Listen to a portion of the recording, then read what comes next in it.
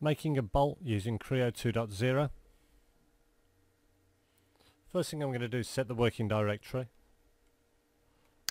I created a folder on my desktop so I'm just going to select the desktop, M8 bolt, say OK to it. I'm then going to start a new part, go to new, name it M8 bolt,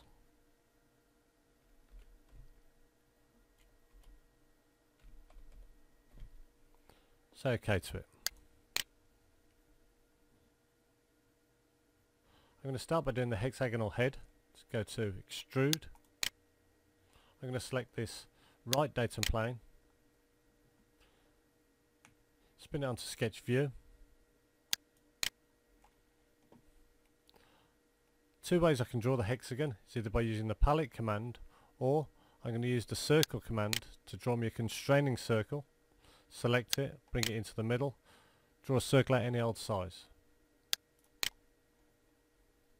Go to the line command, select it, and draw a set of lines. Start anywhere on the circle, left click once.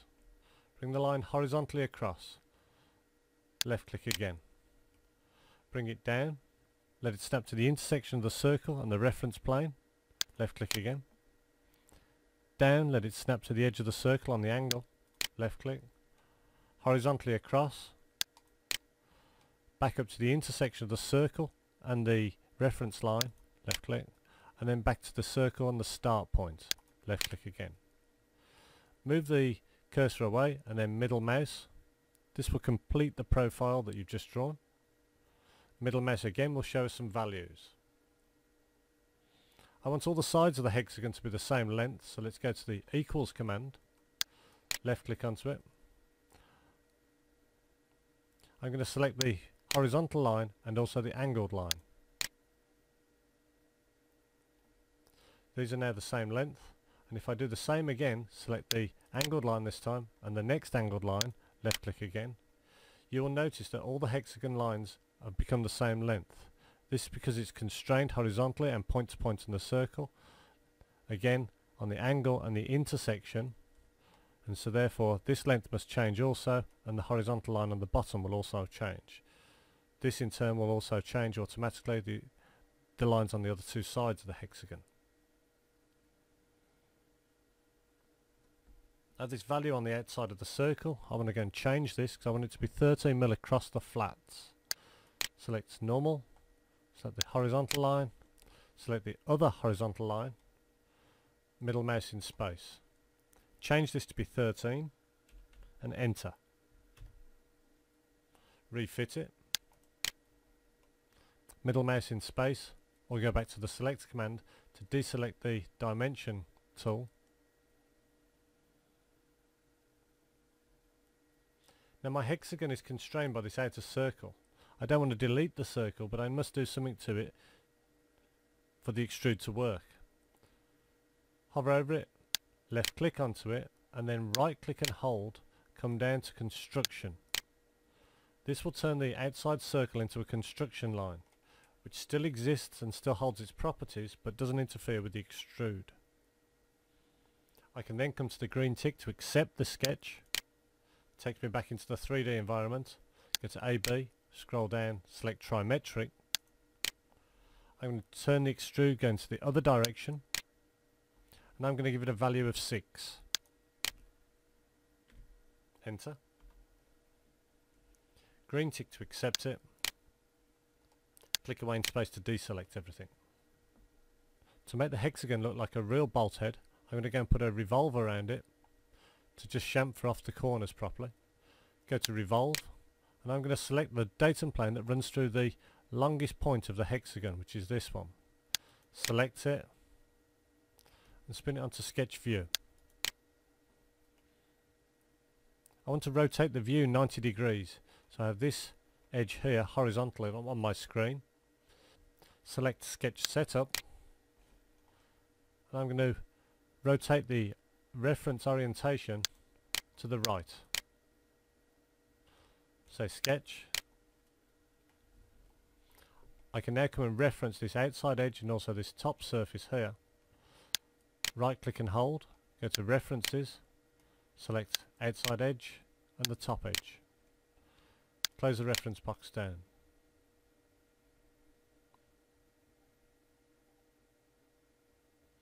I can come and put the axis of revolution in first of all. So right click and hold, come down to axis of revolution, select it, let it snap to the vertical reference line, left click once, bring the cursor down and round, left click again. Middle mouse will take me out of the command. I can now come to the arcs command, select it, my cursor will now snap to the reference line, left click once, bring the cursor across, left click again onto the other reference line and just create myself an arc.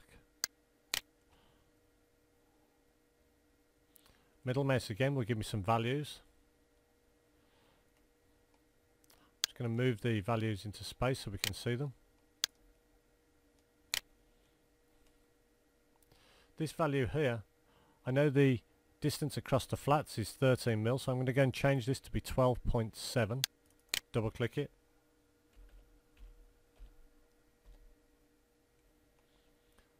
I want to go and change the value on the radius to be 2 mil. And this value here I'm going to go and overrule. I'm going to select my normal command, I'm going to select the endpoint of the arc, the horizontal surface and middle mouse in space. This value I'm now going to change to 5.5, double click it, enter. I can now click on the green tick to take me back into the 3D environment. I can change the direction of the revolve to be on the outside. I'm just going to rotate the view over slightly so you can see what it's doing. Tell it to remove material and then green tick to accept the revolve. Click away. So now come and put the shaft of the bolt on then we can come and thread it. I'm going to rotate the view over. I'm going to do an extrude onto the bottom of the hex. Select it, select sketch view. I can now draw a circle from the center point, left click once, bring it out, left click again. Middle mouse will give me a value. Move the value out, double click it, change it to 8. Click away. I can then green tick to accept it. Rotate the view round and zoom out. Double click it and let's make this 35 mil long. Green tick to accept it. Click away in space will deselect everything. Let's come and put a small chamfer on here first. Select chamfer. Select the bottom edge. Change it to be 0.3. Enter. This will make a smooth transition of the thread when it comes to cut into the bolt. To cut the thread into the bolt we'll do a helical sweep. So I'm going to come to my sweep command, click on the drop down, change it to be helical sweep. I need to get a reference, define, and select a reference plane to sketch onto. Select sketch, select sketch view. Again I'm going to rotate the view over, sketch setup, click on the drop down, it's going to change it to left, select sketch. I'm going to put the cursor down the bottom and zoom in. I now need to come and reference this edge and also this edge. The first thing I'm going to define is the length and shape of the thread to be. So right click and hold, go to references. I'm going to select this edge and also this edge. Zoom out a little say close. I'm going to draw myself a line which will snap to the intersection of the two reference lines. If I zoom in again, note it doesn't snap to the point, it wants to snap to this point here. Left click once, I'll zoom out again. Now I'm going to come up the shaft, left click again. Middle mouse will cancel the line command. I can then come to the arcs command, select it, let it snap to the end of the line I've just drawn and create yourself an arc that comes out. Middle mouse again. What this will do is give a smooth transition of the thread where it finishes on the bolt. It's going to create me some new dimensions. I'm going to go to my normal command, select the controlling length and middle mouse. I'm going to change this to 25, enter.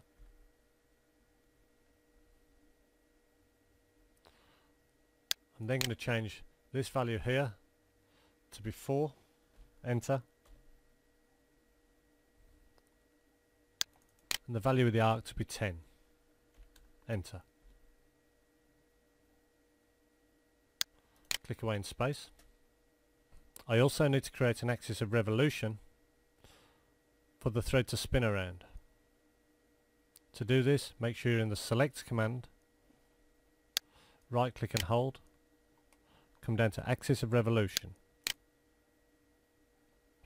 Let it snap to the vertical reference line, bring it round, let it snap again to being vertical and left click again. Can then come straight back into the green tick to take me back into the 3D environment. I can set the pitch of the thread to be 1.25 standard for M8 I can now come and sketch the profile of the thread. Zoom back into the bottom.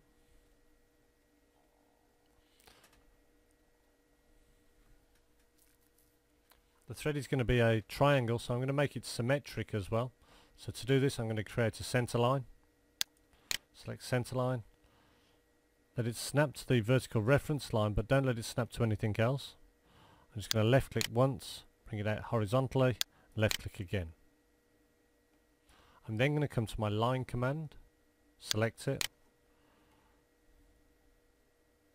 I'm then going to come to the outside corner here, left click once, bring it down, let the hex snap to the newly created center line, left click again, bring it down, left click anywhere, once it snaps, Go back to the start point, left click again, move the cursor away and then middle mouse. Middle mouse again will give me some values. The first value I want is the angle.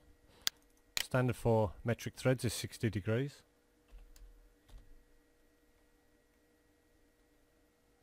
I'm then going to go make it symmetric. Use a symmetric icon, select it, select endpoint, endpoint, center line. Middle mouse away.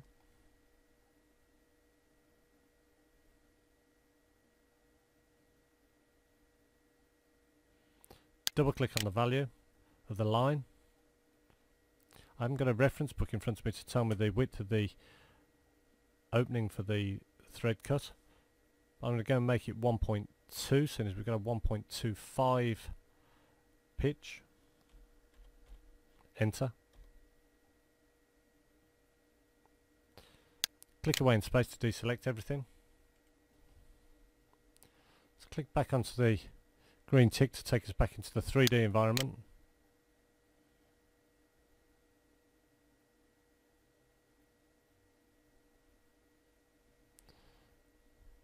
Come across remove material.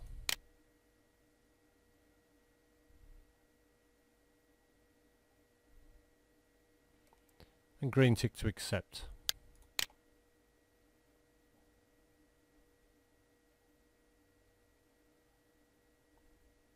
Click away to deselect everything.